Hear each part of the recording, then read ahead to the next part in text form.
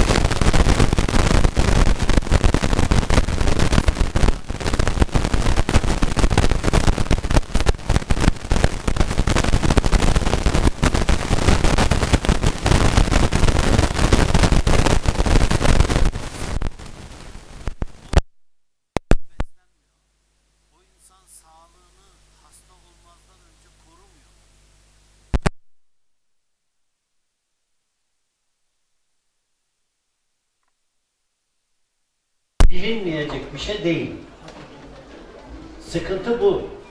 Toplum kendini koruyacak, muhafaza edecek. Bu öğretiyi verecek kurumlar kapatılmış. Bu öğretiyi verecek insanlar asılmış, sürgün edilmiş da bir şekilde var olanlar da pusmuşlar. Böyle olunca toplumun bunun doğrusunu öğrenmemiş gıybeti, dedikodu, iftirayı haram olduğunu dahi bilmemiş. Gelin kaynananın arkasından, kaynana gelinin arkasından, kadın adamın arkasından, adam kadının arkasından konuşmuş. Bir de demişler ki biz doğruyu söylüyoruz. Ona gıybet ediyorsun dediğinde kızmış sana. Bundan şikayet edenlerin hepsi de hepimizden bu gıybetin, bu iftiranın, bu yalanın, bu yanlışlığın içindeyiz. Ve bütün ümmet olarak bunun sıkıntısını yaşıyoruz. Bize gıybet etmeyin diye gıybet etmenin haram olduğunu öğretenler gıybetin içine girdi. Bize iftira atmayın diyenler iftiranın içerisine girdi. Bize iftirayının ne kadar kötü olduğunu öğretenler baş iftiracı oldu. Bize fitne çık. Ben sarık sardığımda bir cuma günü ben sarık sarmıştım. Bana şeyhim dedi ki Mustafa Efendi cumaları sarık sar oğlum dedi. Ben cumaları sarık sardım. İlk cuma sarık sardım. Bana din öğretmeye çalışan bir cemaatin müntesibi geldi, fitne çıkarıyorsun dedi. Dedim neden fitne çıkarıyorum ben? Sen dedi sarık sarmakla fitne çıkarıyorsun dedi. Bu dedim senin düşüncen mi komple cemaatinizin düşüncesi mi dedim ben bizim cemaatin düşüncesi dedi. Sonra imamlarına sordum evet dedi. Sonra daha büyük imamlarına sordum o da evet dedi. Camide sarık sarmayı fitne görenler fitneci başı oldu şimdi.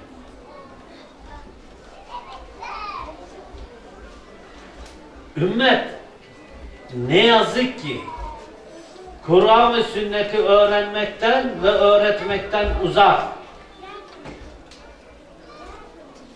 Kur'an ve sünnet için yola çıkıyoruz diyenler şeyhlerini, hocalarını, siyasi liderlerini anlatıyorlar. Kur'an ve sünneti değil.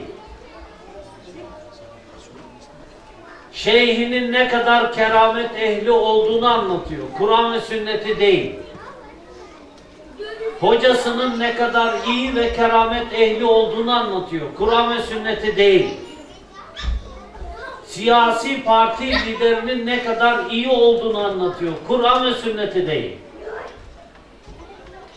Evde aile reisleri, erkekler işlerine geldiği gibi evde din anlatıyorlar. Kur'an ve sünneti değil. Hanım bu senin hakkın. Allah bu hakkı vermiş sana. Bu hakkı al, tepe tepe kullan. Bunu kullanman lazım. Cenab-ı Hakk'ın vermiş olduğu bir hak. Bu benim lütfum değil, bu benim ikramım değil.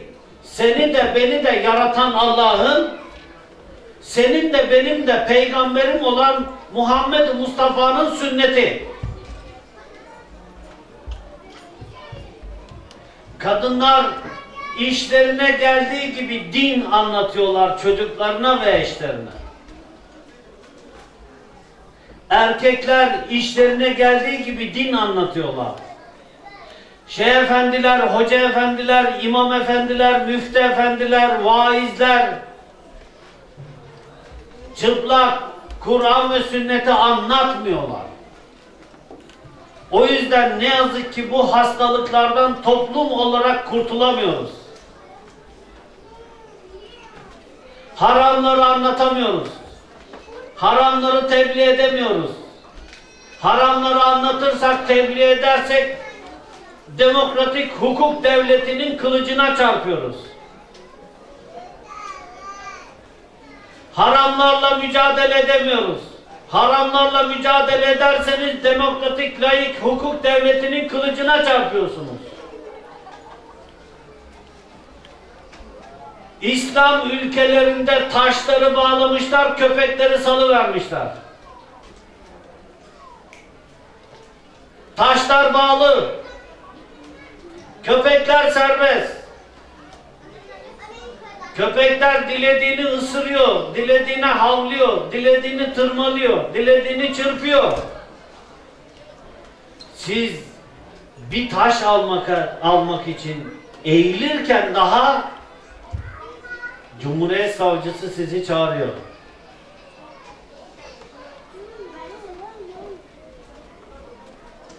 Milletin derdi Kur'an kursu yaptırmak, milletin derdi yurt yaptırmak, milletin derdi hastane yaptırmak, milletin derdi işte pansiyon yaptırmak, milletin derdi okul yaptırmak, milletin derdi cami yaptırmak, milletin derdi adam yetiştirmek, insan yetiştirmek değil.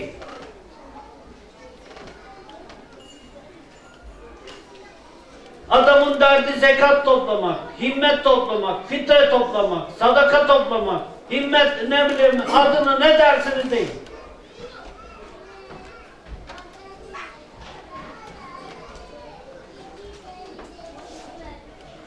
Ben 29 yıldan beri İslam dünyasının içindeyim. 29 yıldır.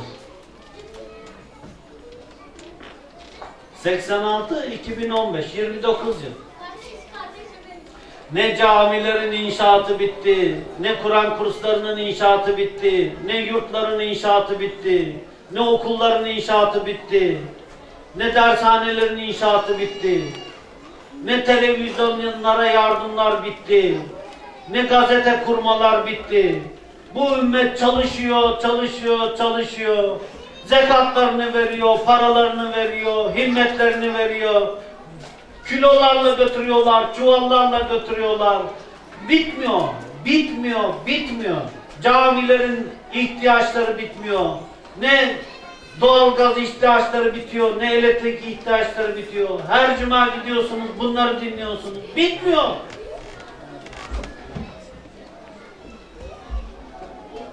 Bitmiyor. 29 yıldan beri bitmedi. Ve geldiğimiz nokta bir arpa boyu.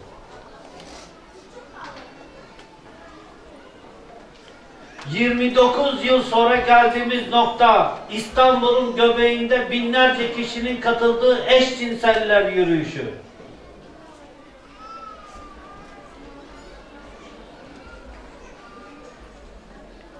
Geldiğimiz nokta... ...hadis-i şerif... ...iki Müslüman grup, iki Müslüman cemaat... ...birbirlerini katletmedikçe... ...birbirleriyle savaşmadıkça kıyamet kopmaz.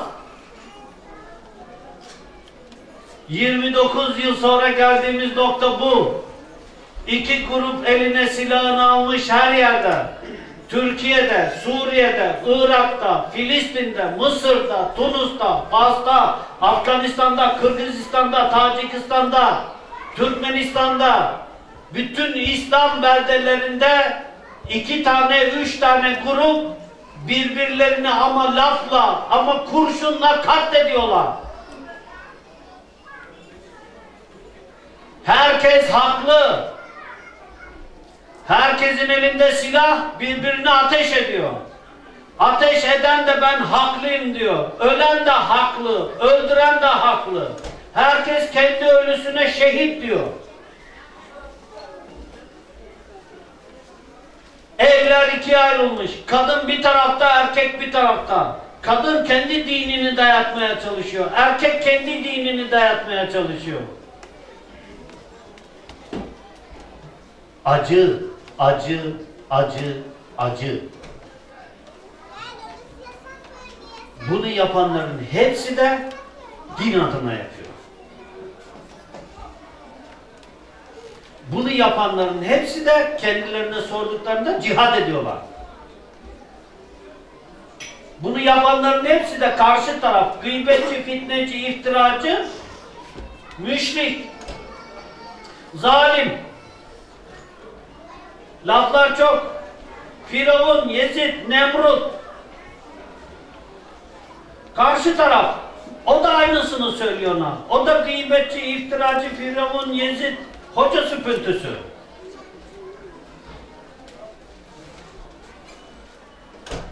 Ne fark kaldı işitle ne bileyim işte oradaki bilmem kimden ne farkınız var? Irak'ta birbirlerini vuruyor. Sünni, Şia. Suriye'de birbirini vuruyor. Hepsi de la ilahe illallah Muhammed Resulullah diyor birbirini vuranlar. Bireyler İslam olmadıkça aileler İslam olmaz. Aileler İslam olmadıkça topluluk İslam olmaz. Bir topluluk İslam olmadıkça dünya İslam olmaz. Müslüman odur ki elin dilinden diğer Müslümanlar emindir. Müslüman odur ki diğer Müslümanlar onun dilinden emindir. Müslüman odur ki diğer Müslümanlar onun dilinden emindir. Müslüman odur ki diğer Müslümanlar onun dilinden emindir. Sabaha kadar bunu söylesem bıkmayacağım. Sabaha kadar söylesem bıkmayacağım. Ne yazık ki Müslümanlar bu iftira ve gıybet çukurunda debeleniyor. Allah affetsin.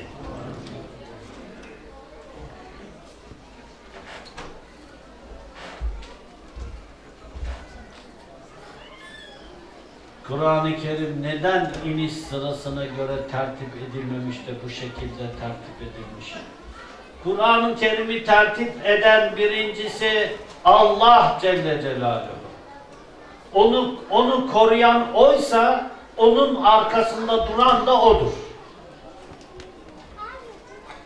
Kur'an'ı biz indirdik, biz koruyacağız demiş Cenab-ı Hak. O yüzden Kur'an-ı Kerim'in sıralışı, sıralanışı bu noktada birinci derecede etkili olan Allah. İkincisi Hazreti Peygamber sallallahu aleyhi ve sellem hazretleri. Üçüncüsü ashab-ı Resulullah. Ve ashab-ı Resulullah'ın içinden kur- kurulmuş bir heyet. Bunun üzerinde şek şüphe etmek, tartışmak boş iştir. O yüzden Kur'an-ı Kerim nüzül sırasına göre değil, Allah alem işlev sırasına göre konmuş, ayarlanmış. Bunların hepsinin de ilahi olduğuna inanıyorum.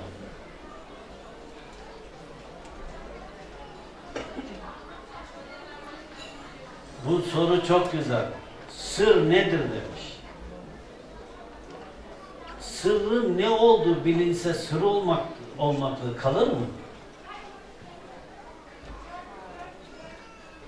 Sırrın sırlı sırlığından.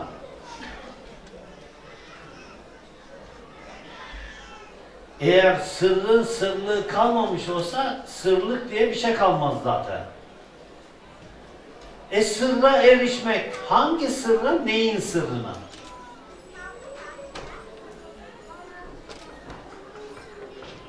Nefsin mi, ruhun mu, kalbin mi, insanın mı, meleklerin mi, şeytanın mı, peygamberin mi, varlığın mı, Allah'ın mı, yokluğun mu? O yüzden sır denilince neyin sırrı? Tabiatın sırrı mı? Çiçeklerin sırrı mı? Böceklerin sırrı mı? Hayvanlar aleminin sırrı mı? Cinniler aleminin sırrı mı? Yoksa cinnilerle melekler aleminin ara bir alem var. O alemdeki varlıkların sırrı mı? Misal aleminin sırrı mı? Ruhlar aleminin sırrı mı? Levh-i mahfuzun sırrı mı? Kalemin sırrı mı? Aklın sırrı mı? Hakkın insanın içine koymuş olduğu sır herkeste başka mı tecelli eder? Sırrı bilsek bizim gayemiz kendimizde olan bu Allah'tan olan sırrı bulmak mı? Allah bize bir sır mı bırakmış? Sırrını ortaya mı saçmış? İnsanın içine bir şey bıraktıysa sır değil o zaman. Meydana çıkmış demek ki. Bir şey yaratıldıysa sır değildir.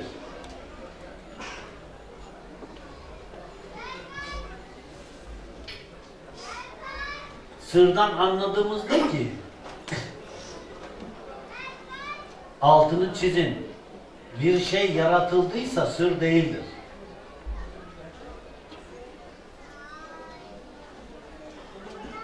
erişmek istediğiniz sır yaratılmış bir şeydir. Size sırdır. Benim sırdan anladığım şey henüz daha varlık alemine sudur etmemiş bir şey. Varlığa sudur etmeyeni ben sır olarak kabul ediyorum. varlığa sudur ettiyse bir şey o sır olmaktan çıktı. Varlığa tecelli edince o zahir oldu zaten. İnsana bir şey geldiyse o varlığa geçti, varlığa tecelli etti. O zaman sır olmaktan çıktı. Bu internette orada burada tasavvuf kitaplarında bu doğu felsefelerinde dolaşan sır kelimeleri, cümleleri var. Gülüyorum hepsine de. Hatta bana bir iki tane böyle link gönderdiler. Sırra kavuşturacak, sırra erdirecek böyle öğretiler veriyorlarmış. Gülüyorum kendi kendime. Allah bizi affetsin. Sırra ulaşmak herkese nasip olur mu? Muhakkak. Ve bu nasıl mümkün olur? Teslimiyetle mi? Allah razı olsun demiş kardeşimiz. Allah iyi gitsin inşallah. Ben Fatiha ve Sübhaneke dualarını biliyorum. Namaz kılmaya bu dualarla kılsam kabul olur mu? Benim edindiğim din bilgisine göre bir kimse Fatiha'yı ve Sübhaneke'yi de bilmese ve bir kimse ben namaz kılacağım dese, birisi de ona sorsa, birine sorsa namaz nasıl kılınır dese, o da ona bir namaz tarif etse, hatta tarif ettiği namaz yanlış bile olsa, o kimsenin namazı kabul olur.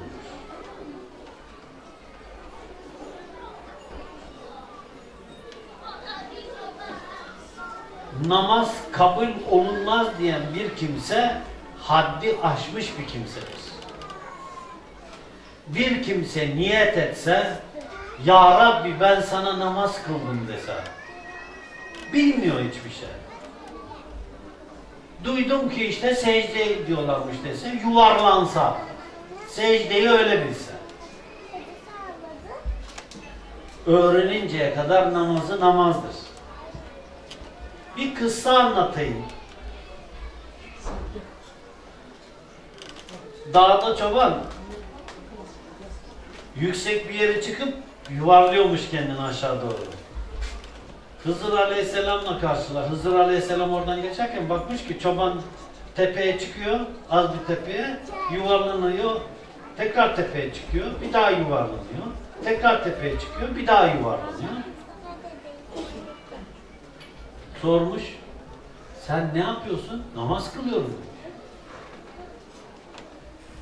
demiş. Ki namaz böyle kılınmaz. Ya demiş nasıl? Abdest alacaksın. Kıbleye döneceksin. Allahu Ekber diyeceksin. Namazı tarif etmiş ona. Tamam mı demiş, tamam demiş. Hızır Aleyhisselam yürümüş. Cenab-ı Hakk'ın bazı kullarına bahşettiği lütufları vardır. Senin bin adımında o bir adımda gider. Öyle Hızır Aleyhisselam da birkaç adımda Dicle'nin karşısına geçivermiş, uzaklaşmış. Tabi çoban yine Allah Ekber diyecek, namaz kılacak, şaşırttırmış. Eller havada mı, yerde mi? Var ya şimdi, böyle mi bağlayacağız, böyle mi bağlayacağız, yere mi sarkıtacağız? Yere sarkıtan diyor ki, sizinki olmadı, şirke düştünüz. Bağlayan diyor ki, bu Müslüman mı, eller yerde nasıl namaz kılıyor? Yok kulakların memesine parmağının neresi değdi, neresi değmedi. Eller kulaklara kadar çıktı mı? Yok bir santim yukarı çıktı, senin namazın olmadı. Yok bir santim aşağı düştü, senin namazın olmadı. Yok bacağını sen 4 santim ayırmadın, 5 santim ayırmadın. Adımla öyle dur. Dur pantolonunu çekme, namazın olmadı. Bu kot pantolonla namazın olmaz. Bu kot gömlekle senin namazın olmaz. Bu dar pantolonla senin namazın olmaz. Ay siz demek bir de evlerinizin içerisinde çarşaf giymeden namaz kılıyorsunuz ha? Evin içinde dahi olsan çarşafsız namaz olmaz. Kadınlar evlerinin içerisinde istedikleri gibi örtünsünler. Hayır öyle namaz olmaz. Mümkün değil. Var çok ya. Sıralasam daha ben sabaha kadar sıralarım. Çorapsız namaz olmaz. Muhakkak çoraplı namaz kılmanız lazım. Aklıma gelenleri söylüyorum. İş çamaşırsız namaz olmaz.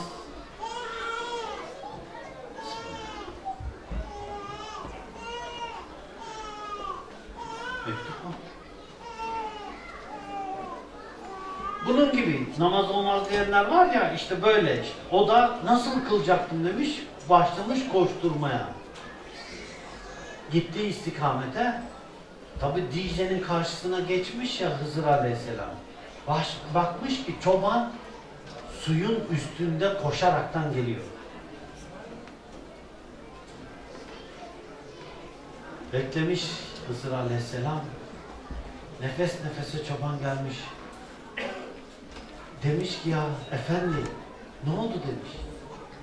Ben namazı demiş karıştırdım. Nasıl öğrettiydin sen bana demiş. Hızır bakmış ki bu da kendisi gibi.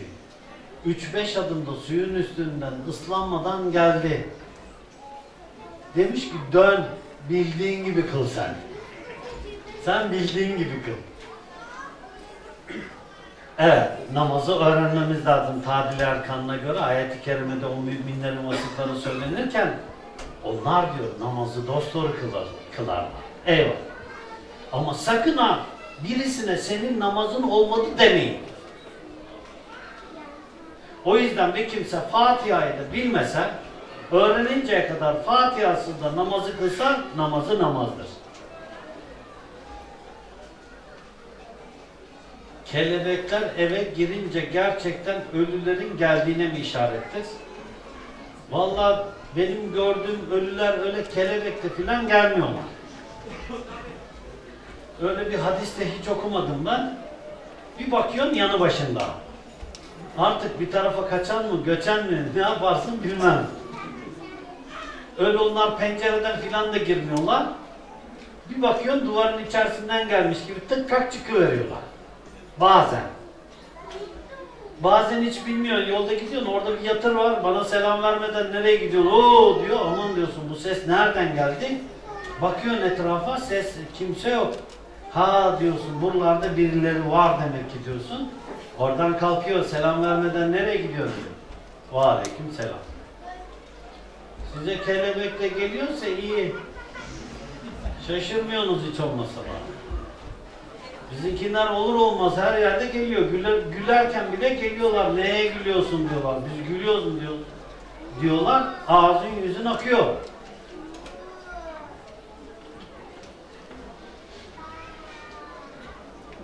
Hele bir de en neşeli olduğun zaman geliyor ya bir de. Yani böyle diyorsun ki of ya ne kadar arkadaşlar toplanmışlar işte eş dost filan. Neşe pür neşe harika. Aa, dınk birisi geliyor. Selamun aleyküm. Herkesten gülüyordun. Hadi gül şimdi.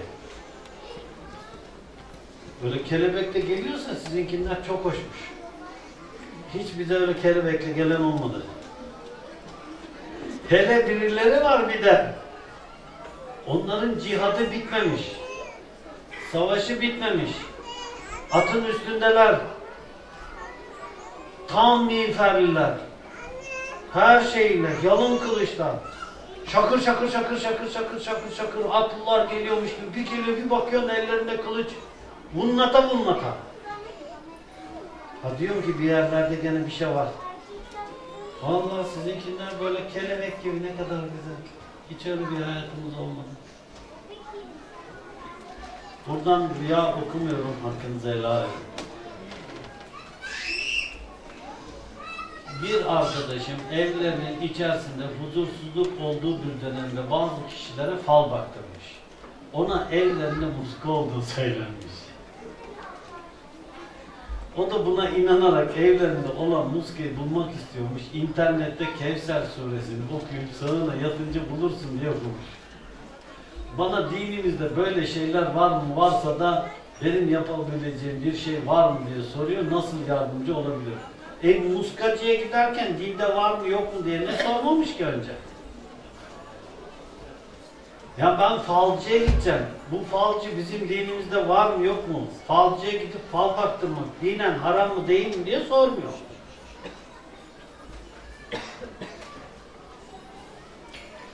Ben hırsızlık yapacağım. Gidiyor, hırsızlığı yapıyor. Ondan sonra diyor ki bu hırsızlık malını ben satabilir miyim, satamaz mıyım? Caiz olur mu, olmaz mı? Ya hırsızlık yaparken ne sormadın? Adam gitmiş bir Müslüman kardeşine faizden parayı satmış. Faizi de almış karşıdan gelmiş bana. Diyor ki bu faiz bana helal mı değil mi? Bunu diyorum verirken neden yapmadın? Bu böyle baktı. Git dedim bu parayı şimdi o arkadaşına ver. Nasıl yani hocam dedi. E basmaya dedim bana gelmiş sormuşsun ya dedim bu faiz parasını ne yapayım diye soruyorsun değil mi dedim ben. Sustu. Yani önce ne yapayım diye sordu. Ben de faiz haram bundan da aldın da para haram git geriye ver dedim ben buna. Bu oradan tornistan ediyor şimdi. Tornistan edecek yer arıyor. Para yüklü. Yok kardeşim bu senin arkadaşın değil mi? Evet. Bu arkadaşından bu faizi nasıl aldın?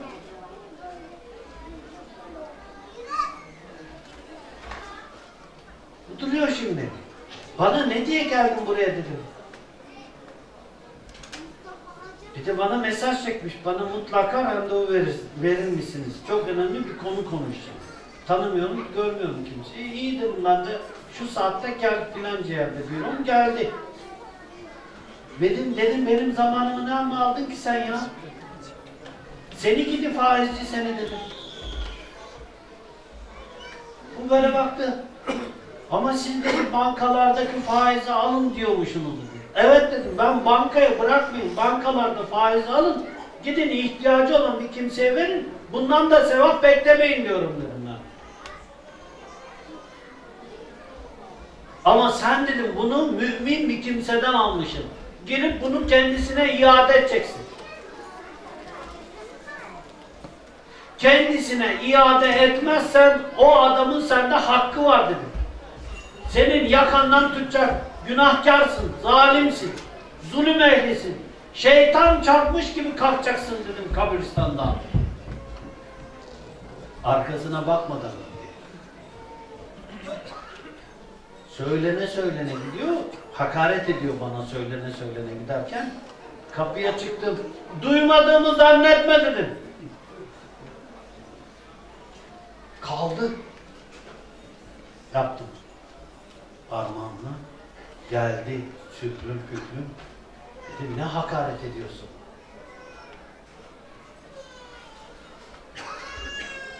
Kaldı. Dedim bak senin faizciliğin için dedim daha da ispat edildi.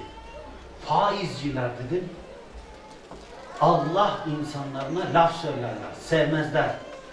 Kalplerinde onlara karşı nefret vardır dedim gerçek müminlere karşı kalplerinde nefret vardır dedim. Sende o var. Sen dedim tövbe et.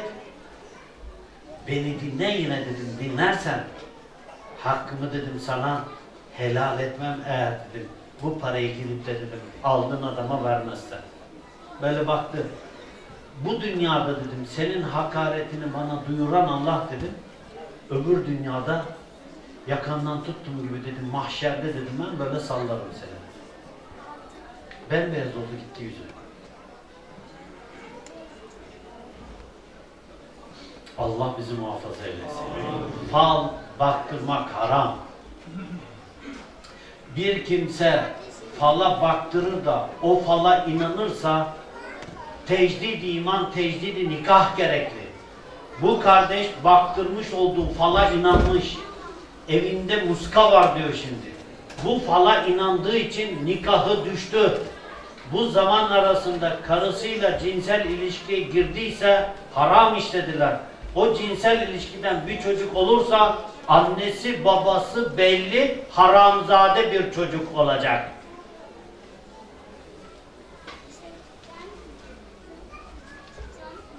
Evet. Bunun hükmü bu fala bakan kimse kendisi de bakmış olduğu fala inanırsa onun da tecrid iman, tecidi nikah gerekli. Eğer o kimse bakmış olduğu fala inanaraktan ölürse küfür üzerine ölür. Bir kimse fala baktırsa, fala da inansa, fala inanmış bir şekilde ölse küfür üzerine ölür o kimsenin nikahı düşmüş olur, fasit olmuş olur. Bir ömür boyu eşiyle zina etmiş hükmüne girer.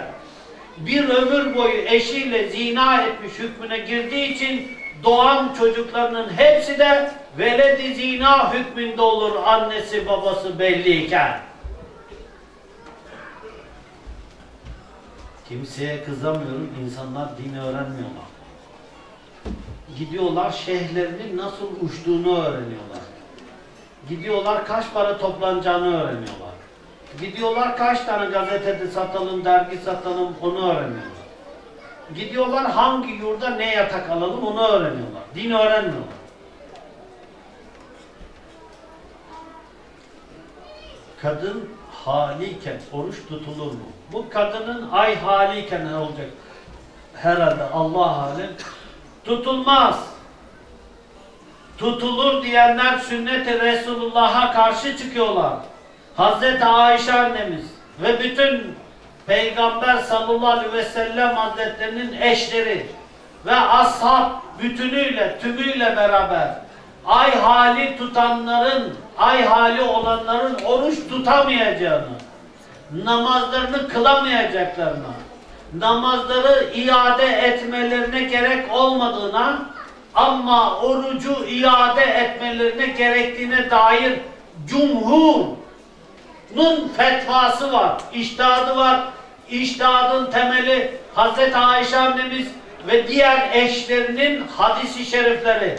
Hepsi de diyorlar ki biz Hazreti Peygamber sallallahu aleyhi ve sellem hazretlerinin sağlığında ay haliyken namazlarımızı kılmazdık, terk ederdik, orucu tutmazdık, orucu müsait olduğumuz zamanlarda Ramazan'dan sonra iade ederdik, tutardık.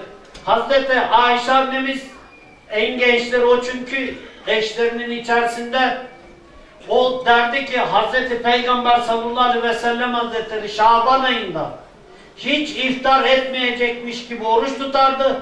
Biz de kalan oruçlarımızı Şaban ayında iade ederdik diye hadis-i şerifler var. Bu son dönemde 10-15 yıldan beri ne yazık ki alim müsveddeleri türedi. Bunlar hadis-i şerifleri inkar ediyorlar. Bunlar ashab-ı Resulullah'ın söylemiş olduğu sözleri inkar ediyorlar. Bunlar Hz. Peygamber sallallahu aleyhi ve sellem hazretlerinin hadislerini ve ashabın bu noktadaki birleştiği icmayı inkar ediyorlar. Ve bunlar yeniden uluslararası ortak bir çalışmanın ürünü olan bir din oluşturmaya çalışıyorlar. Dünya üzerinde deccaliyet sistemini kurmak istiyorlar. Bu deccal sistemi dünya üzerinde tek din, dünya üzerinde tek devlet, dünya üzerinde tek bir millet meclisi gibi Birleşmiş Milletler, dünya üzerinde tek ordu, dünya üzerinde bunların tek ekonomik sistem, bunların amaçları bu. Bütün dünyayı köleleştirmek, bütün dünya insanlarını köleleştirmek, bütün dünya insanlarını belli bir kesime peşkeş çekmek. Bunların karşısında duran bir tek inanç kaldı. O da Kur'an ve sünnet. Bunlar bütün dinleri ifsad ettiler. Bütün dindarları ifsad ettiler. Bunlar bütün milletleri ifsad ettiler. Homoseksüelliğin arkasında bunlar var. Dinsizliğin arkasında bunlar var. Yahudi kabatalistlerin arkasında bunlar var. Hristiyanların içerisindeki evangelistlerin arkasında bunlar var. Müslümanların içerisinde işitçilerin arkasında bunlar var. Vahabilerin arkasında bunlar var. Orta Doğu'da kan dökenlerin arkasında bunlar var. Ülkemizde cemaat savaşlarını çıkaranların arkasında bunlar var. Ülkemizde Müslümanları birbirlerine düşürenlerin arkasında bunlar var. Müslümanların dinlerini ifsad etmek isteyenler bunlar. Televizyonlardan, basınlardan, üniversitelerden, ilahiyat profesörlerinden, hocasından, hacısından, şeyhinden, televizyonlarda hatun oynatına varıncaya kadar arkasında bunlar var. Bunların amaçları bütün dinleri ifsad etmek ve dünyayı tek deccal dininin altında toplamak. Bütün milli, askeri sistemlerin hepsini ifsad etmek ve bir tek NATO şemsiyesinin altında toplamak, bütün devletleri yok edip Birleşmiş Milletler dedikleri soykırımcı, Birleşmiş Millet dedikleri insanları öldüren, katleden böyle bir sistemin altında toplamak, bütün dünya devletlerini ve dünya insanlarının paralarını tek para sistemine geçirip bütün dünyayı bunların amaçları ütmek, dünyayı köleleştirmek, bunların amaçları bu. O yüzden bunlar paralı hepsi de. Televizyona çıkıp da hadisleri inkar edenler bu organizasyonlardan saklı veya gizli örtülü veya örtüsüz destek alanlar. Bu televizyonlar bu organizasyonların pençesinde bunlardan destek alıyorlar. Böyle şeyhler var Türkiye'de. Bu şeyhler de bunların paralı adamları. Böyle İmam Hatip'te, ilahiyatta, orada burada profesörler var, hocalar var. Bunlar hadisleri inkar ediyorlar. Bu organizasyondan para alan insanlar. Bunların tefsirleri 10 tane satmıyor, 100 bin tane bastırıyorlar, 100 bin tanenin parasını alıyorlar. Bunları yazmış olduğu kitaplar satmıyor, 100 bin, 200 bin, 300 bin bastırıyorlar. Sanki satılmış gibi parasını bunlara örtülü olarak veriyorlar. Ondan sonra çıkıyorlar. Kadınlar ay hali olduğu zamanlarda da oruç tutar diyorlar. Bu ne demek biliyor musunuz? Hazreti Peygamber sallallahu aleyhi ve sellem Hazretleri'nin öğretisini komple çöpe atıyorlar. Eğer bunu kabul ettiğin an arkası çorap söküğü gibi gelecek. Arkası çorap söküğü gibi gelecek. Bunlar her yerdeler. Evet. Deccal her yerde. Deccaliyet sistemi her yerde. Deccalistler her yerde. Kim birisi sünnet-i Resulullah'ın karşısında bir laf söylüyorsa Deccalist o. Bir hadisi inkar ediyorsa, hadisleri inkar ediyorsa, bir tane hadisi inkar ediyorsa, adama soruyorum, hadis alimi misin sen? Ses yok. Ses yok. Ve bu moda haline getiriyor. Televizyonlar öyle çıkıyorlar ya.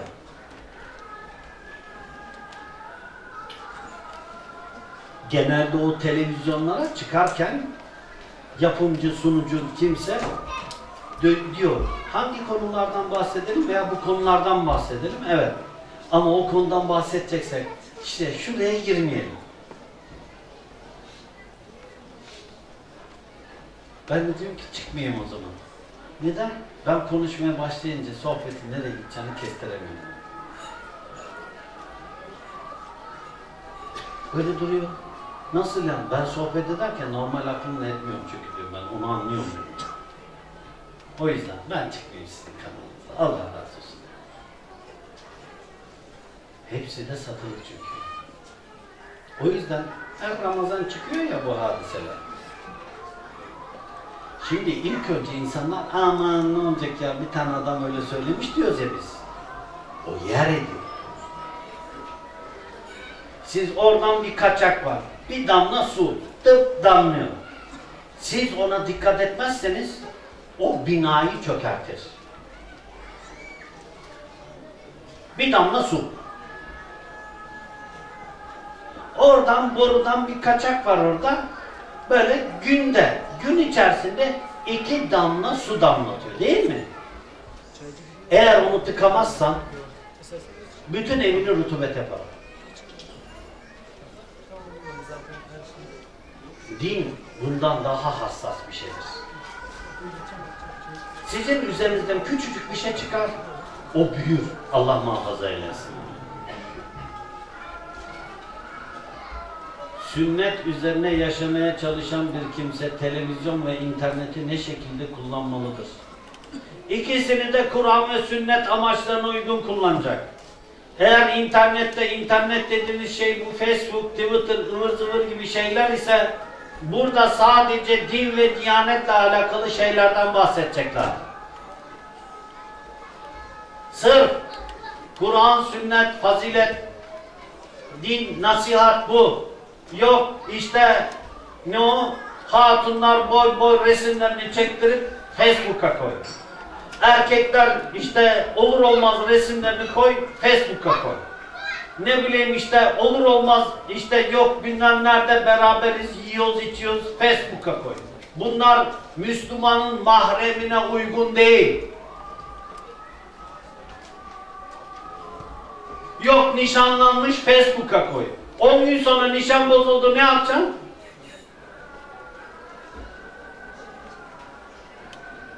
Yok nişan alışverişinde Facebook'a koy. Yok nişanlısıyla yemek yok Facebook'a koy. Yok nişanlısıyla el ele kol kola Facebook'a koy. Bozuldu nişan.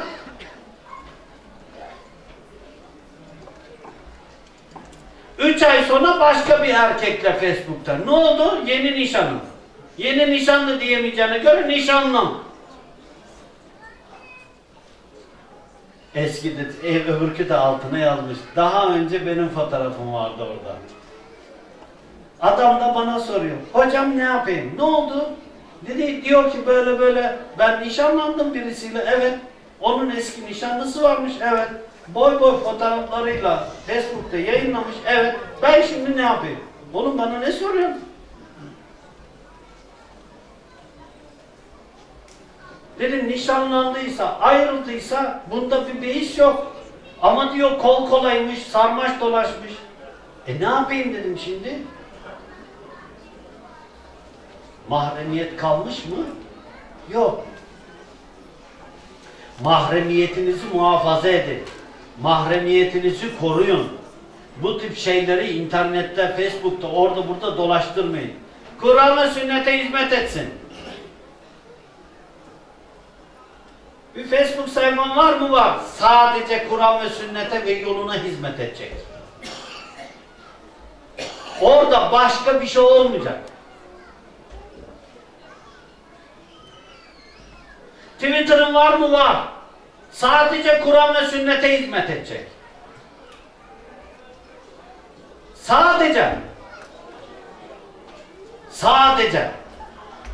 Televizyonun var mı? Var. Haberleri dinle, belgesel dinle, siyasi tartışma programlarını dinle. Evet. Başka bir şey yok. Allah bizi affetsin. İntihar etmek günah mı? Mecbur olduysan Allah affeder mi? İntihar haramdır. Bir kimse bile bile intihar ederse küfür üzerine ölür. Asla af bu mümkün değildir. Bile bile intihar edemez.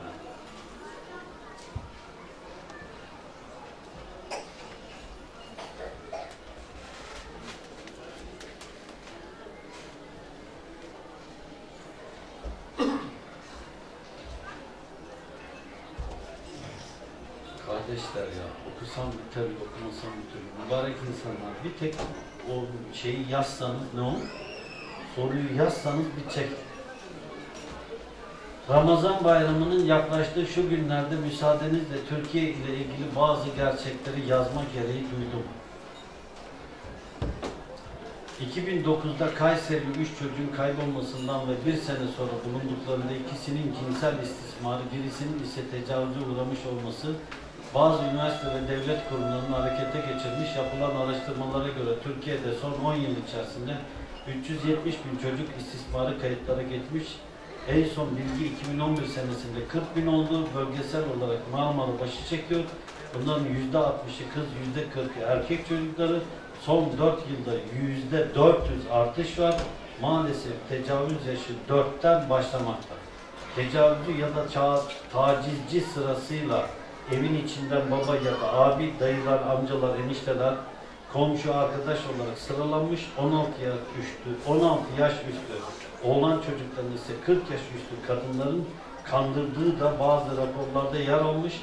Halka teşhir edilmiş 3 polis raporunda mağdur ailelerin ortak cümlesi tecavüzcü için o bizim en yakınımız hiç aklımıza gelmezdi. Çok güvenirdik olmuş.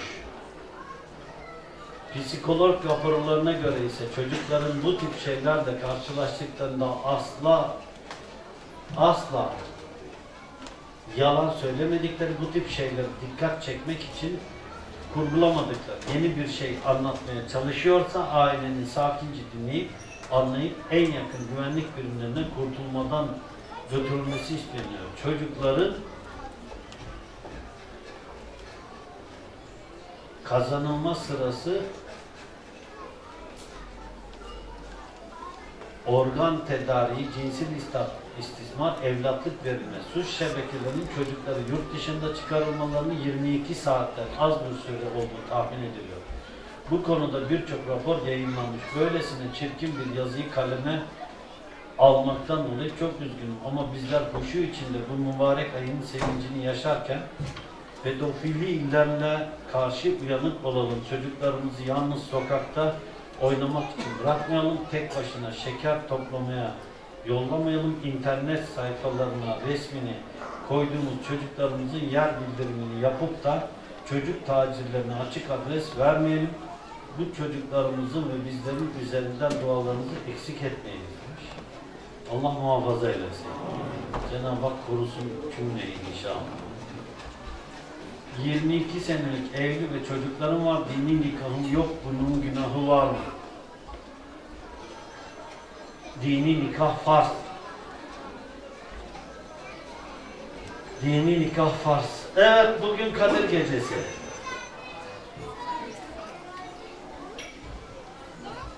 Cenab-ı Hakk'ın bin aydan hayırlı dediği gece.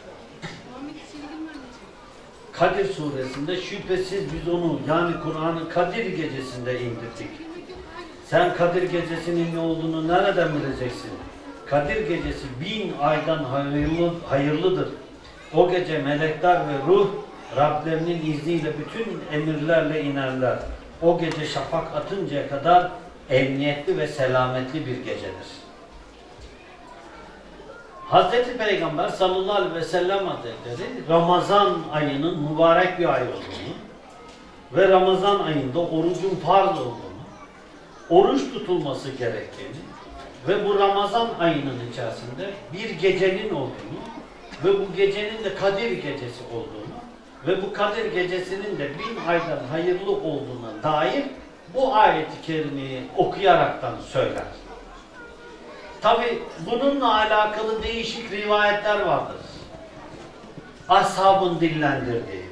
Bununla alakalı en böyle kabul edilebilir. Benimce kabul ettiğim rivayet bu benim hoşuma gidiyor çok. Hani Hazreti Peygamber sallallahu aleyhi ve sellem Hazretleri Beni İsraillerden dört şahsın ismini söyler. Ve bunların 80 yıl hiç Allah'a isyan etmeden ibadet ettiklerini anlatır. Bu dört Beni İsrailli kimse birisinin adı Zekeriya olması lazım. Bu Zekeriya aleyhisselam mıdır yoksa Zekeriya adında bir kim midir? Birisinin Eyüp olduğu söylenir adı. Bu artık Eyüp aleyhisselam mıdır yoksa Eyüp adında birisi midir? Bunun gibi dört kişi var.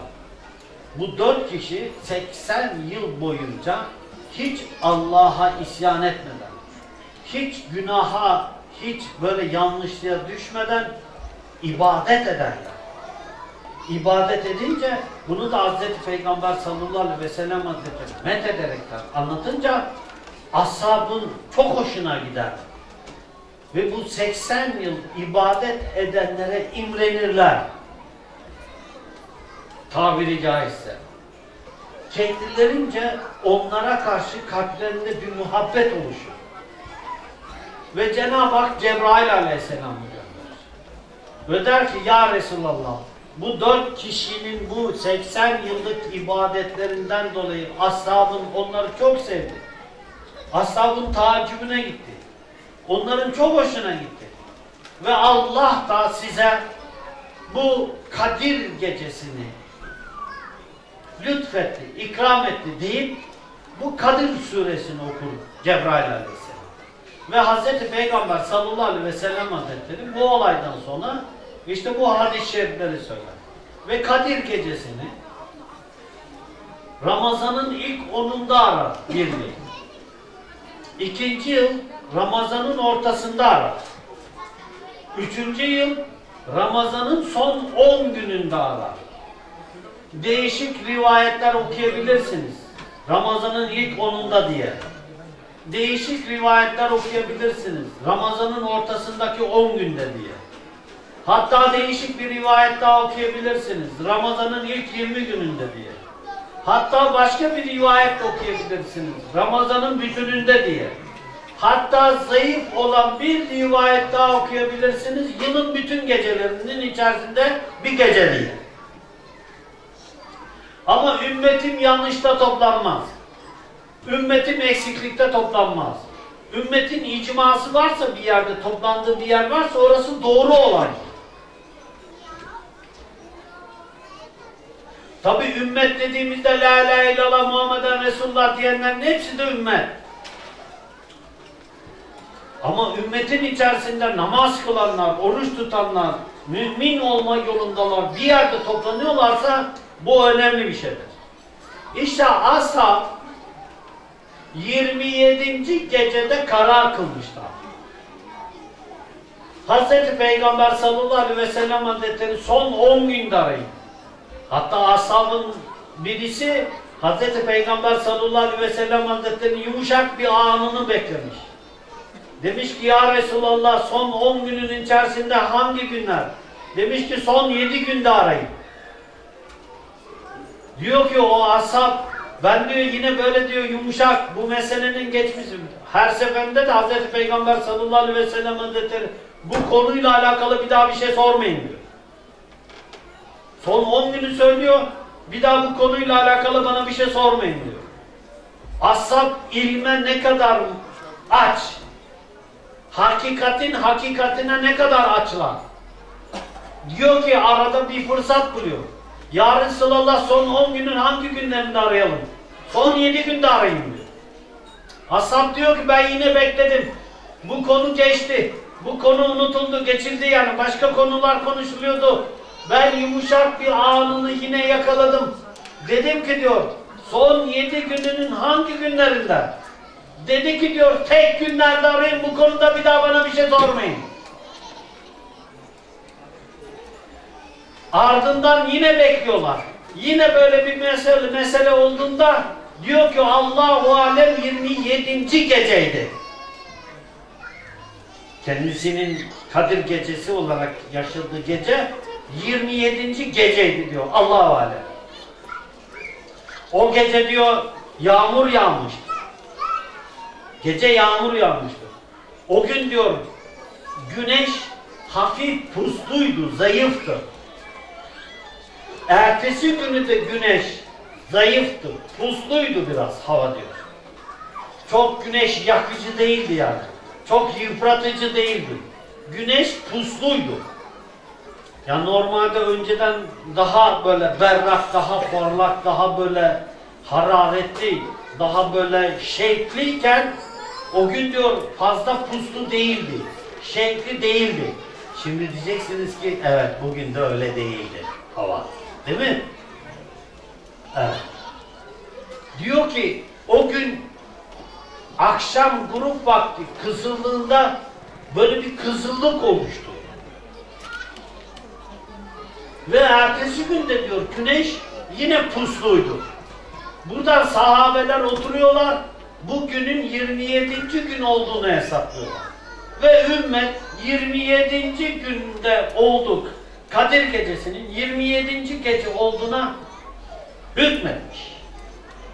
Toplanmışlar, iştahat etmişler. 27. gece olduğunu. Yani 26. günü 27. Ba geceye bağlandığın gece. Yani bu gece. 26 ne zaman bitti? Akşam namazı vaktinde bitti. 26'ya 27'ye bağlayan gece bu gece. Akşam namazında gün devrolunur İslam'a göre. 26'yı 27'ye bağlayan gece bu gece. Yani bu gece Kadir gecesi inşallah. Ümmet bu noktada toplanmış. Bu noktada ittifak etmişler. Bir topluluk, bir ümmet bir noktada ittifak ettiyse Hz. Peygamber sallallahu aleyhi ve sellem hadis-i şeriflerinde buyurur ki ümmetim yanlışta ittifak etmez. Ümmet 27. gecede ittifak etmiş. Bunda şek şüphe yok. Türkiye'deki ümmet bir yerde ittifak etmiş. Şek şüphe yok. Bu cemaat bir yerde bir kimse de ittifak etmiş. Şek şüphe yok. Evde hane halkı beş kişi, beş kişinin dördü ittifak etmiş bir noktada. Şek şüphe yok. Evet. On kişi istişare ediliyor. İstişare edilirken altı kişi ittifak ediyor bir noktada. Kur'an ve sünnete uygunsa bu noktada sıkıntı yok. O ittifakta hayır vardır. Haramda ittifak yanlıştır. Yanlışta ittifak yanlıştır. Gıybette ittifak yanlıştır. Suizanda ittifak etmek yanlıştır. Allah'ın haram kıldıkları noktada ittifak etmek yanlıştır. Haramda birleşilmez. Helalda birleşilir. Asla haram bir noktada ittifak edilmez. O zaman bu şer ittifak olur. Hayır ittifak ise Kur'an ve sünnet dairesinde toplanmak, Kur'an ve sünnet dairesinde toplanılan bir noktada toplanmaktır. Kur'an ve sünnet dairesinde toplanmış olan cemaattan bir karış ayrılmak o kimsenin imanını götürür. Allah muhafaza eylesin. O yüzden asla bir topluluk, bir ümmetten bir topluluk hayırda toplandıysa siz ona karşı çıkamazsınız. İslam'ın hukuku budur. Ve Kadir Gecesi 27. gece olarak bu noktada ittifak etmiş ümmet. Bunun üzerinde şek şüphe yok. Ve bu gecede bütün ümmet 27. gece olarak ne yapıyor? Bunu idrak etmeye, bunu yaşamaya çalışıyor. Tabi bu sene Ramazan 29 olunca Suudlular da zannediyorum bu gece değil mi? Onlar da bu gece yapıyor. 29 olunca Suudlular da bu gece Kadir gecesini yapıyor. Bütün ümmet bu gece Kadir gecesini yapıyor inşallah. Ve bütün ümmet de inşallah bu gece 80 yıl ibadet etmiş gibi sevap alacak inşallah. Çünkü bu gece Hz. Peygamber sallallahu aleyhi ve sellem Hazretleri'nin deyimiyle Kur'an'ın indirildiği gece. Duhan suresi ayet 3 gerçekten biz onu mübarek bir gecede indirdik Kur'an'ı. Ve rivayet edilir ki Ramazan ayında Cenab-ı Hak Kur'an'ı lef-i mahfuzdan dünya göğüne bütün bir şekilde indirdi ve 23 yılda tedrici tedrici ayet-i kerimeler Hz. Peygamber sallallahu aleyhi ve sellem hazretlerine tebliğ edildi. İşte normalde o Kur'an'ın lef-i mahfuzdan bütünüyle dünya göğüne veya semavatın göğüne indiriliş gecesini biz Kadir gecesi olarak nitelendirdik. Ve bu gecede melekler melekler, bütün melekler hepsi de sırayla dünya semasına inerler. Ve bu gece Cenab-ı Hak dünya semasına tecelli eder. Yok mu günahlarını af isteyen affedeyim. Yok mu tövbe eden tövbesini kabul edeyim diye seher vaktine kadar kendisine namaz kılan, kendisini zikreden, kendisine dua eden, kendisine tövbe eden kulların yapmış olduğu bu ibadet, bu sevap, bu duruş noktasını Cenab-ı Hak rahmetiyle bereketlendirir, lütfuyla ikramlandırır ve fazlasıyla cevap verir. Zaten Ramazan'ın sonlarına yaklaşılmıştır. Oruç tutanlar oruçlarının erginliğine ulaşırlar. Ermiştir artık oruç. O kimse böyle ergin, olgunlaşmış bir meyve gibi koparılmaya hazırdır. Artık o Ramazan'ın son 10 günlerinde bu 27. gece ona ayrı bir manevi tat o meyve. Ayrı bir manevi renk, ayrı bir manevi koku olacaktır. Ve o geceyi ihya edenlerin geçmiş günahları affolacaktır. O gecede hatta bir rivayet var çok enteresan. Diyor ki kim Kadir gecesinde üç sefer dahi la ilahe illallah dese kurtuluşa erer der. O yüzden bu gece Allah alem ümmeti Muhammed'in günahlarından sıyrılma, makam ve mertebelerinin yücelmesine sebep olacağı bir gece. Hiç olmazsa evlerinize gittiğinizde tesbihinizi alıp bol bol tevhid çekin. Hiç olmazsa namaz kılamıyorsanız dahi bu gece iki rekat namaz kılın. Çünkü bu gece bütün melekler ümmetin bütün fertlerini dolaşırlar.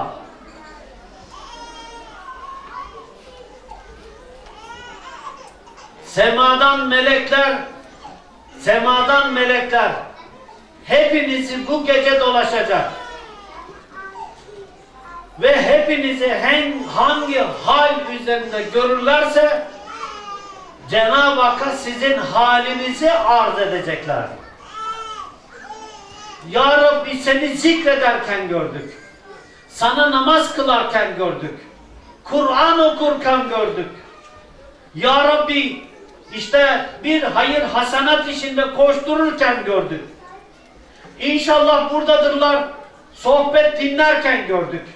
Zikrullah yaparken gördük. İnşallah evinizde gittiğinizde secdadenize oturduğunuzda Allah'ı zikrederken gelirler. Ya Rabbi evinde seni zikrederken gördük. İtikafta olanlar itikaflarda Allah'ı zikrediyorlar. Düşünebiliyor musunuz?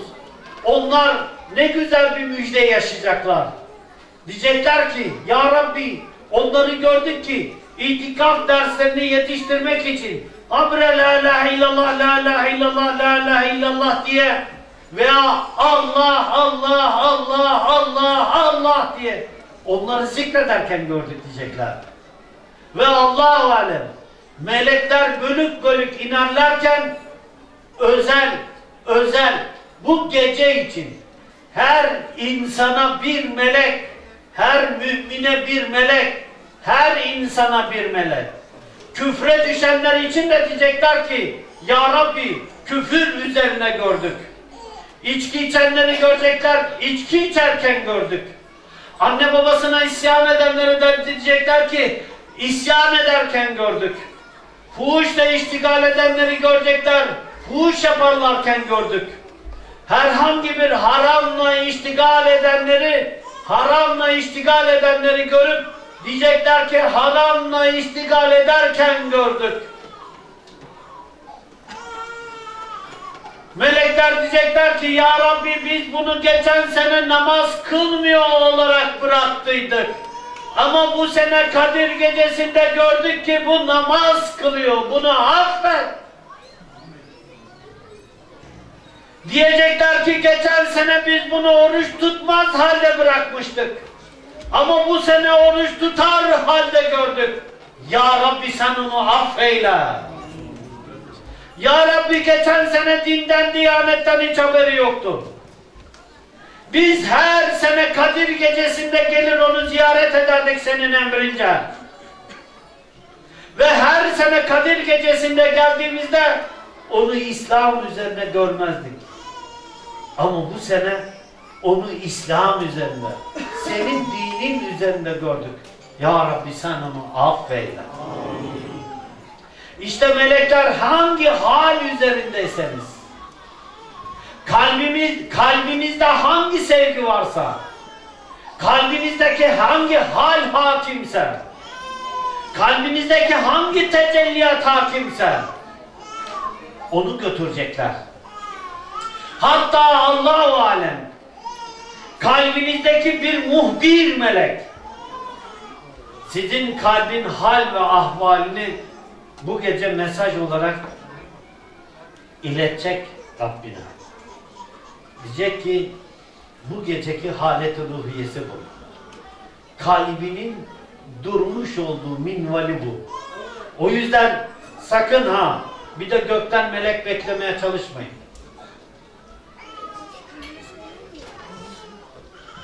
Gök sizin kalbinizde çünkü. O yüzden kalbinize tefekkür edin. Kalbinizin üzerinde ne var? Kalbinize tefekkür edin, rabıta edin. Kalbinizde hangi muhabbet var? Kalbinizde neyin sevdası var? Kalbinizde neyin acısı var? Kalbinizde neyin tadı var? Kalbinizde neye karşı bir iştiyak duyuyorsunuz? Kalbinizdeki şevk ne tarafa doğru? İsteğiniz ne tarafa doğru? Duygularınız ne tarafa doğru? Allah alem bugün herkesin kalbi üzerinde dua edeceği bir gün. Ya Rabbi kalbimi senin dininin üzerinde mukim eyle. Amin. Kalplerimizi senin sevginde mukim eyle. Amin. Kalplerimizi Hz. Muhammed Mustafa'nın sünnetinde mukim eyle. Amin. Kalplerimizi Kur'an ve sünnet dairesinde mukim eyle. Amin. Ve bizim kalbimizi ebediyen bu mukimlik üzerinde tut ya Rabbi. Amin. Ve bu gece gerçekten amin. Bu gece bu noktada zannediyorum kalplerimiz bir sınavdan, bir imtihandan geçecek. Ve Allah hesabı baştan sona kılmaz. Sondan başa bakar. Eğer bu gece o ziyaret esnasında, o hesaba çekilme esnasında kalbimizde Kur'an ve sünnete mukumiyet, Kur'an ve sünnet dairesinde sabitlik, Kur'an ve sünnet dairesinde bir Allah sevgisi, bir Resulullah sallallahu aleyhi ve sellem hazretlerinin sevgisi var ise Allah alem biz 80 yıllık ibadet etmiş gibi Cenab-ı Hak bize ecri sevabatını verecek inşallah. O yüzden Ramazan'ın son 10 gününde devamlı tevhid çekmek, gecelerini boş geçirmemek, gündüzlerini dikkat etmek, bilhassa gecelerini de dikkat etmek. Muhakkak teravih namazı, nafile namaz kılmak, muhakkak gece nafileden tevhid çekmek, nafileden zikretmek, nafileden tövbe etmek. Bu noktada nafileden namaz kılmak, secdeleri uzatmak, secdelerde yalvarmak, ağlamak, secdelerde dua etmek, derdi varsa derdine, sıkıntısı varsa sıkıntısına, her ne var ise ona dua etmek muhakkak ki çok önemli. İşte Cenab-ı Hak Allah alem ümmeti Muhammed'i Hz. Peygamber sallallahu aleyhi ve sellem Hazretleri'nin yüzü sürmetine onun sevdiğinden dolayıdır Allah alem. Ümmeti Muhammed'in kendisinin karşısına günahkar olarak çıkmasını istemiyor. Kendisinin karşısına zalim, hain, vefasız, günahların içerisine dalmış, Allah'ı unutmuş, Resulünü unutmuş, dini diyaneti unutmuş bir şekilde karşısına gelmesini istemiyor.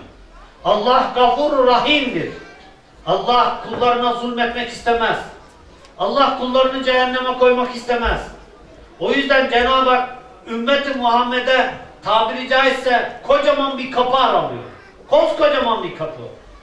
Ümmeti Muhammed'e o kadar kocaman bir kapı aralamış ki kim Ramazan ayını oruçlu geçirirse Allah onun geçmiş günahlarını affeder noktasında kocaman bir kapı ayırmış. Ve ola ki o Ramazan ayında bir hata yapar, yanlışlık yapar, eksiklik yapar, noksanlık yapar. Ola ki o kimse hayatında yanlışlıklar, eksiklikler, noksanlıklar diz boyu değil, kendi boyunu geçmiştir. Allah alem, ben kendi veçemden söylersem benim boyumu aşmıştır. Bizim gibi günahkar kulları için Kadir gecesini ihya etmiş. Demiş ki bu geceyi ihya et. Bu geceyi boş geçirmeyin. Bu geceyi muhakkak dolu geçirin. Tehvih çekin. Ya ne kadar çok hoşuma gitti. Kim diyor bu gece üç sefer la ilahe illallah dese onun kurtuluşu ümit edilir. Üç sefer. Ey ümmeti Muhammed. Üç sefer la ilahe illallah diyemeyecek noktada mısın? İki rekat namaz kılamayacak nokta mısın? Noktada mısın? Oturup yüz tane, iki yüz tane, üç yüz tane, beş yüz tane, bin tane, beş bin tane La ilahe illallah diyemeyecek noktada mısın? Günahlarına tövbe edemeyecek noktada mısın? Kusurlarına, hatalarına tövbe edemeyecek noktada mısın? Cenab-ı Hak tabiri caizse kapısını sonsuz bir şekilde açmış. Gelin tövbe edin, zikredin demekten. Ve Allah bu ümmete lütfediyor, ikram ediyor, ihsan ediyor. Diyor ki ne yaptıysanız yaptınız. Hangi melaneti işlediyseniz işlediniz. Kadir gecesinde tövbe edin. Dua edin. Allah'ı zikredin. Tövbe ettiyseniz o günaha bir daha geri dönmeyin. Ve melek sizin hakkınızda şunu söylemesin. Bu tövbe ettiydi geçen sene. Geçen sene tövbe ettiydi ama bu sene yine aynı günahları işledi. Biz yine aynı günahları işler vaziyette gördük bunu demesin sizin için. Dönüm noktası olsun. Dönüm noktası. Ve bu gece gerçekten öylesine tövbe edin ki bir daha geri dönüş olmasın. Öylesine kalbinizi tenvir edin. Öylesine kalbinizi Allah'a açın.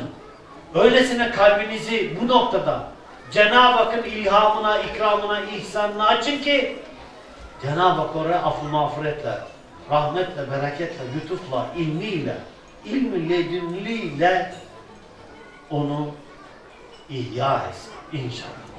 O yüzden muhakkak ki gönüllerinizdeki bir melek bu, ce- bu geceki halinizi özel bir şekilde Cenab-ı Hakk'ın katına çıkaracak özel bir şekilde sizin için dua etmesini sağlayın. Ve o melek Cenab-ı Hakk'ın katına çıkıp beni zikredeni, bu halde olanı affetmedikçe sükune, sükune ermeyeceğim dediği kullardan olun inşallah.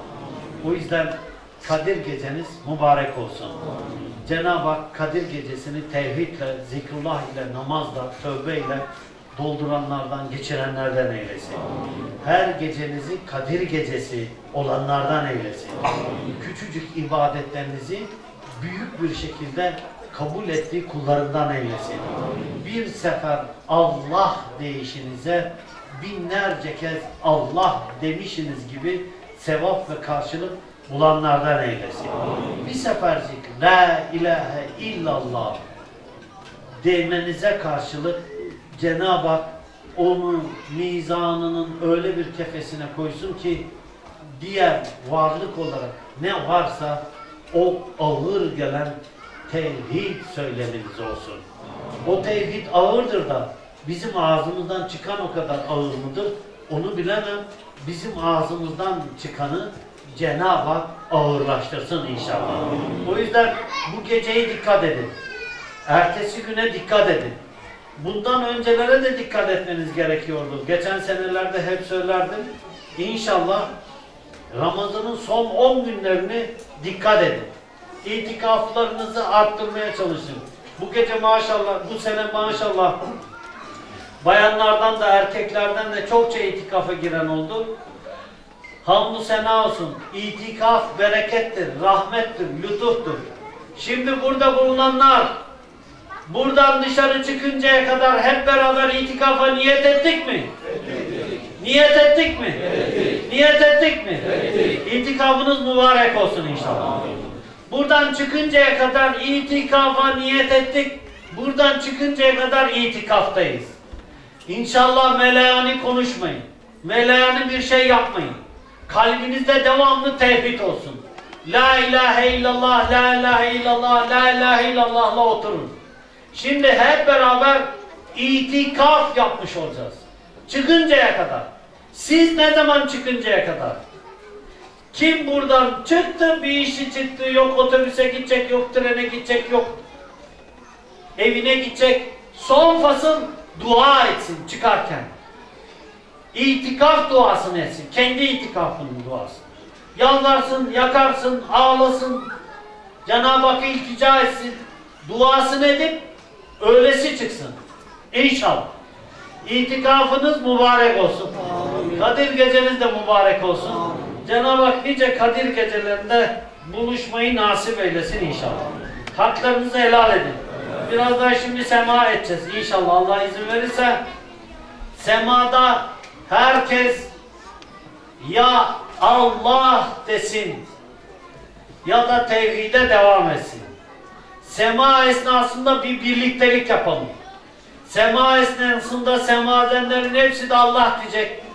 Biz de oturduğumuz yerde hep beraber Allah diyelim. Onlar her çarkta Allah diyecekler inşallah. Biz de oturduğumuz yerde Allah diyelim. Alın tesbihleriniz elinizde, elinizde tesbih varsa. Tesbih yoksa tesbihsiz. Tesbih alın dememizin sebebi şu. Yanındaki sana laf atmasın. Yanındaki sana ne yapıyorsun dışının örtüsüne baktın mı demesin. Yanınızdaki size bir, bir şeyi kritik etmesin. Elinize tesbihler alın. Ders Ya Allah.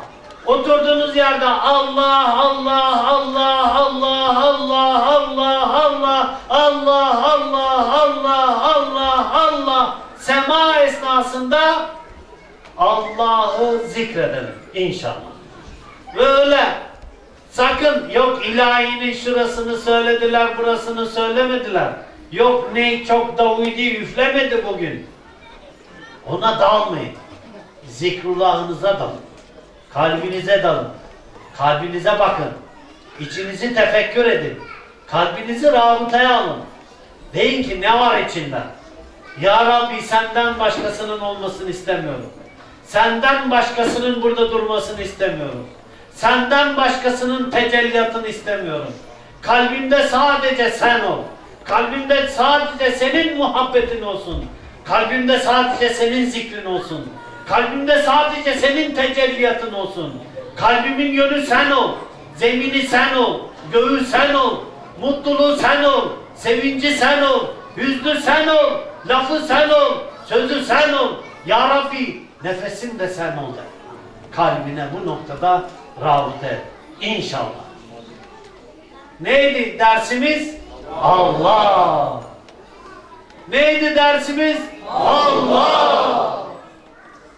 Dersimiz Allah. Selam.